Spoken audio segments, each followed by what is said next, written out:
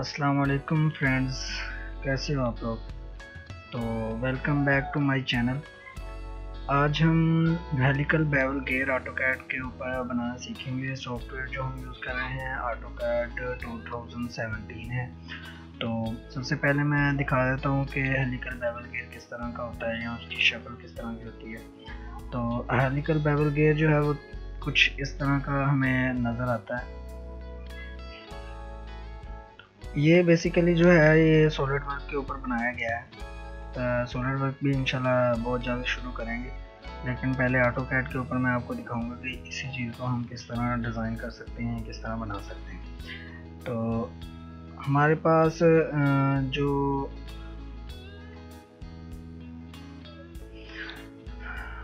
Auto CAD है, उसमें हम सबसे पहले जो है, कोई भी ज्योमेट्री है, उसको हम टू में डिज़ाइन करते हैं। तो सबसे पहले हम इसकी जो है टू डी जो जोमेट्री है, वो बनाएँगे, उसके बाद इसे थ्री डी में लेके जाएँगे। सॉलिड वर्क में भी यही किया जाता है, पहले टू डी बनाई जाती है, फिर थ्री डी में लेके जाते हैं। लेकिन थ्री सॉलिड वर्क में थोड़ा सा आसान है, लेकिन ऑटो कैड में मुश्किल है। लेकिन ऑटो कैड में आपको मैं बनाना सिखाता हूँ कि किस तरह बनाते हैं। तो ये इसकी जो है वो टू डी ड्राइंग है। तो शुरू करते हैं इस तरह के किस तरह इसको हम बना सकते हैं। तो हमारे पास ऑटो कैड का इंटरफेस है ये। सबसे पहले हम देख लेते हैं कि हमारी कहाँ से हमने शुरू करना है। हम इस पॉइंट से शुरू करेंगे। तो यहाँ नीचे वाले पॉइंट से, ऊपर वाले पॉइंट से शुरू कर लेते हैं।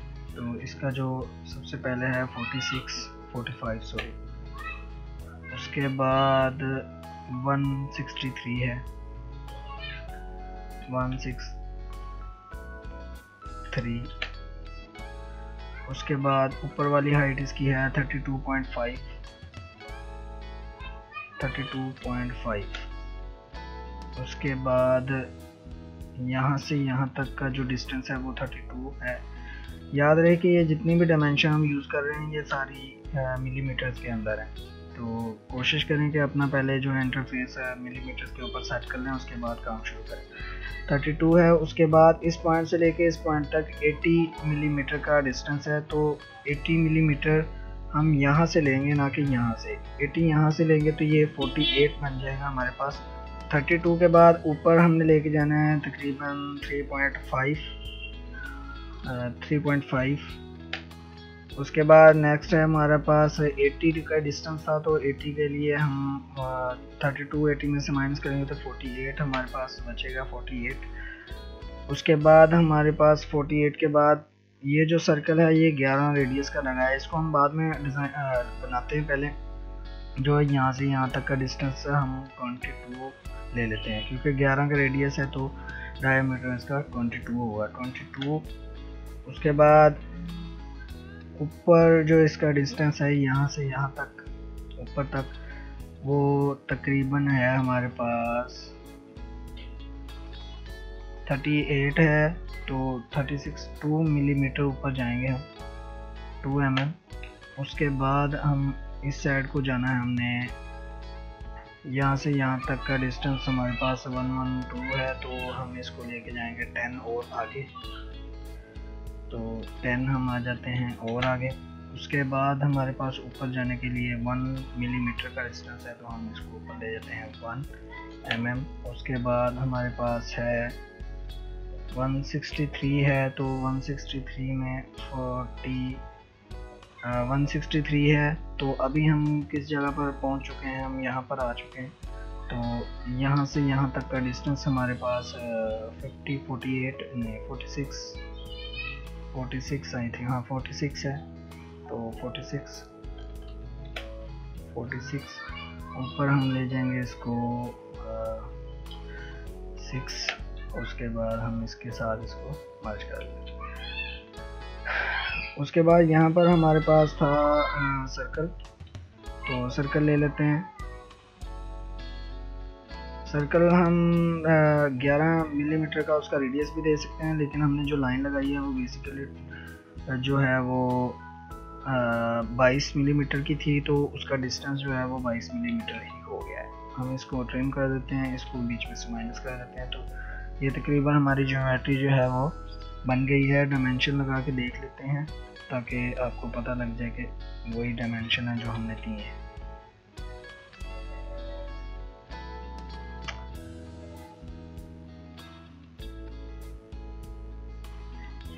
तो सही है। ये भी ठीक है। ये भी ठीक है। यहाँ से यहाँ तक का डिस्टेंस ठीक है। यहाँ से यहाँ तक का डिस्टेंस ठीक है। यहाँ से यहाँ तक का डिस्टेंस वन वन टू ठीक है। उसके बाद यहाँ से यहाँ तक का ओके ओके ये ये तकरीबन हमारी जो है वो ड्राइंग तकरीबन बन गई है। अब हम बनाते हैं,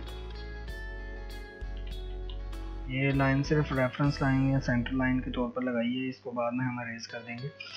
हमने ये जो इसके आगे जो हेलिकल बना हुआ है, इसको बनाने के लिए हमने बनाया। तो लाइन लगाई है ताकि ये इसके बिल्कुल एक एक्सेस के ऊपर हम सारी चीज़ें बनाएँ। तो अब ये बना लेते हैं। सबसे पहला हमारा सर्कल है हंड्रेड डायमीटर उसके बाद वन सेवेंटी डायमीटर का। तो दो सर्कल हम ड्रा कर लेते हैं। पहला सर्कल हमारा था पचास मिलीमीटर रेडियस उसके बाद वाला डायमीटर है हमारे पास 170 तो ये बन गया। अब इस लाइन को हम रेज कर देते हैं। उसके बाद लाइन सेंटर लाइन लगाते हैं यहाँ से। यहाँ तक। ऑफसेट ले लेते हैं। यहाँ से यहाँ तक का डिस्टेंस सिक्स सिक्स मिलीमीटर है तो ऑफसेट सिक्स का आ जाएगा। फिर से ऑफसेट 15 मिलीमीटर 15 मिलीमीटर उसके बाद हमने आर्क लेनी है। इस चीज़ को बनाने के लिए आर्क आर्क का रेडियस है 66.48 मिलीमीटर तो हम आर्क ले लेते हैं three point arc. Three point arc इस पॉइंट से शुरू करेंगे। इस पर और हमने रेडियस लेना है six point four eight sorry three point arc यहाँ से शुरू किया, यहाँ से और ये सिक्स पॉइंट फोर एट। तो ये हमारे पास आ गई है हमारी आर्क। तो सबसे पहले ट्रिम कर लेते हैं इसको। जो फजूल लाइनें हैं, उनको रेज कर देते हैं। तो इसको थोड़ा सा अंदर की तरफ़ लेके आता हूँ मैं, ताकि ओके, अब इसको मिरर कर लेते हैं। मिरर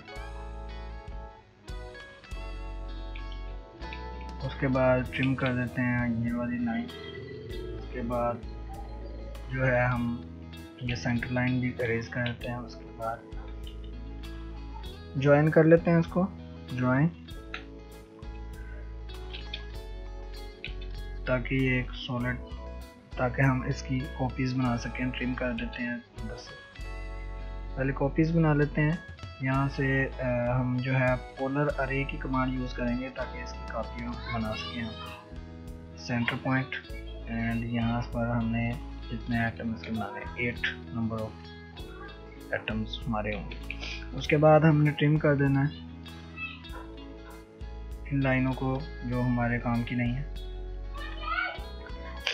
उसके बाद इस सारी को हमने कर देना है ज्वाइन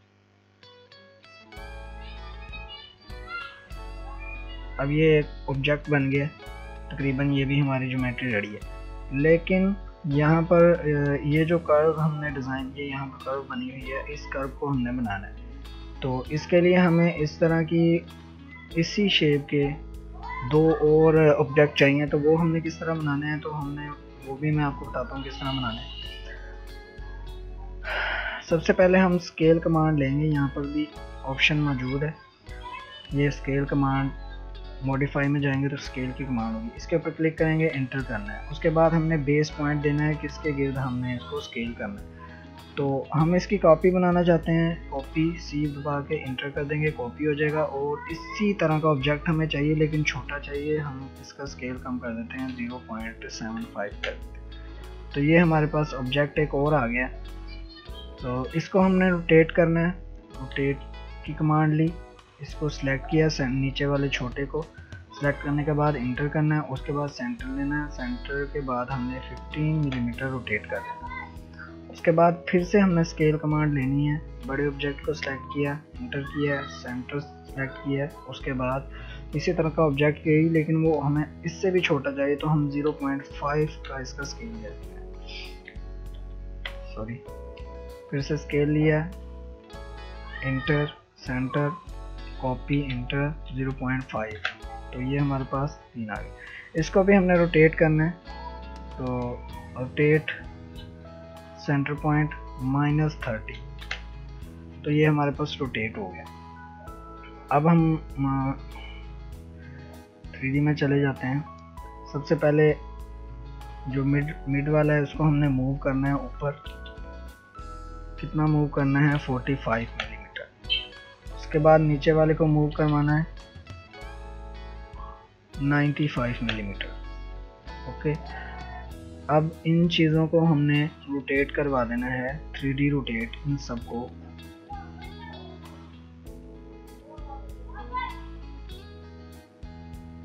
ये 3D रोटेट हो चुका है।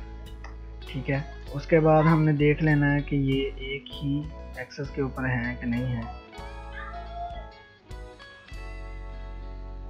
नहीं, एक एक्सेस के ऊपर नहीं है तो इसको एक एक्सेस के ऊपर लेके आना है। सबसे पहले हम इसकी जो है, वो डायमेंशन ख़त्म कर देते हैं, क्योंकि हमने अब इसको थ्री में कन्वर्ट करना है। तो शुरू करते हैं। सारी डायमेंशन ख़त्म कर देते हैं, ताकि हमें कोई परेशानी ना हो थ्री में ले जाने के लिए। तो ये हो गया। उसके बाद हमने इसको भी ज्वाइन कर लेना। ज्वाइन ज्वाइन हो गया। सही है। अब यहाँ पर एक सर्कल ड्रॉ करना है हमने। यहाँ पर सर्कल का डायमीटर होगा हमारा। डायमीटर था 35 डी दबाएँगे 35 डायमीटर क्योंकि हमने इसके अंदर होल बनाना है इसलिए यहाँ पर हमने सर्कल लगाया। सर्कल को भी रोटेट कर लेते हैं। ये आ, हमने रोटेट कर लिया। उसके बाद हमने इन चीज़ों को इस पॉइंट के ऊपर लेके आना मूव उठाएँगे और यहाँ पर सिंपली ड्रॉ कर देंगे। अब ये बिल्कुल एक एक्सेस के ऊपर आ चुके हैं। अब हम सिंपली इसको जो है रोटेट कर हम जो पहली कमांड यूज़ करेंगे, उसको रिवॉल्व कमांड रिवॉल्व कमांड लेंगे ऑब्जेक्ट सेलेक्ट करेंगे इंटर कर देंगे। उसके बाद हमने एक्सेस सेलेक्ट करना है, किस एक्सेस के अंदर हम रोटेट क्या नाम है उसका रिवॉल्व कर सकते हैं। तो रिवॉल्व हमने करना है 360 के ऊपर तो इंटर सिंपली इंटर कर देंगे। ये हो गया। उसके बाद हमने कमांड यूज़ करनी है लॉफ्ट टूल लॉफ्ट कमांड पहला ऑब्जेक्ट दूसरा एंड तीसरा। इन तीनों को सिलेक्ट करने के बाद सिंपली इंटर करना है और इंटर कर देना। तो ऑब्जेक्ट हमारा तकरीबन रेडी हो गया। ये देखें। ऑब्जेक्ट ऑलमोस्ट हमारा डन है। तो अभी इसके अंदर होल बनाना है। होल बना देते हैं। तो होल होल के लिए हमने एक सर्कल लगाया हुआ है तो इसको पहले हम इसको ज्वाइन कर यूनियन कर लेते हैं, एक ही ऑब्जेक्ट बना देते हैं। यूनियन एक ऑब्जेक्ट बन गया, उसके बाद हमने करना है इसको एक्सट्रूड सेंटर वाले पॉइंट सर्कल को। ऑल थ्रू कर देते हैं। उसके बाद हम इसको कर देते हैं, इसमें से सब्ट्रैक्ट सब्ट्रैक्ट टूल यूज़ करेंगे। ऑब्जेक्ट सेलेक्ट किया इंटर एंड सेंटर में तो ये हमारा होल बन गया तो ये आ, हमारा जो है वो हेलिकल बेबल गियर है। तो ये चीज़ें हम बनाएँगे अब इसके ऊपर जो है वो थ्रेड बने हुए हैं ये वाले तो इनको हम बनाते हैं।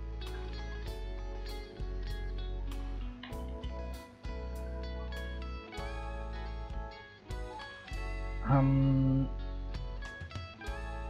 टॉप में चले जाते हैं। Two D wireframe. उसके बाद हमारे पास था, हमने रेक्टेंगल ले लिए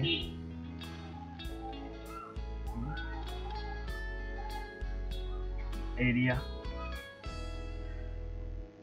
टेन इसकी लेंथ होगी और फाइव विथ होगी।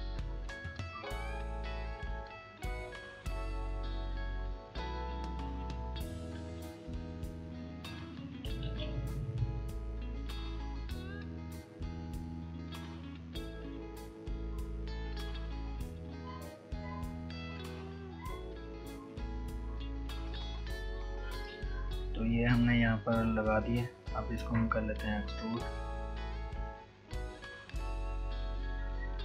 48 उसके बाद हमने अब इसकी बनानी है।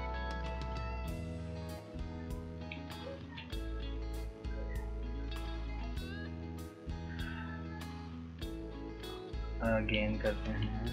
इसको बैक ले जाते हैं। And axis of rotation axis ले लेते हैं। एक्सेस तो इसके नंबर ऑफ़ थर्टीन होंगे। इंटर तो हमारा जो ऑब्जेक्ट तकरीबन रेडी तकरीबन नहीं अलहमदिल्ला रेडी हो गया। तो ये देखें।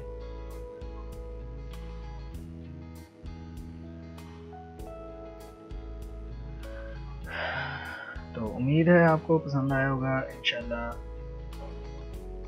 कमांड्स को, ये कुछ स्टैंडर्ड नहीं है, ना ही इसको हमने स्टैंडर्ड के तौर पर लेना है। बस ये, इसमें ये दिखाया गया कि आप इसको किस तरह डिज़ाइन कर सकते हैं, किस तरह बना सकते हैं। तो उम्मीद है आपको पसंद आई होगी। इंशाल्लाह मिलते हैं नेक्स्ट वीडियो में। अल्लाह हाफिज़, अपना ख्याल रखिएगा।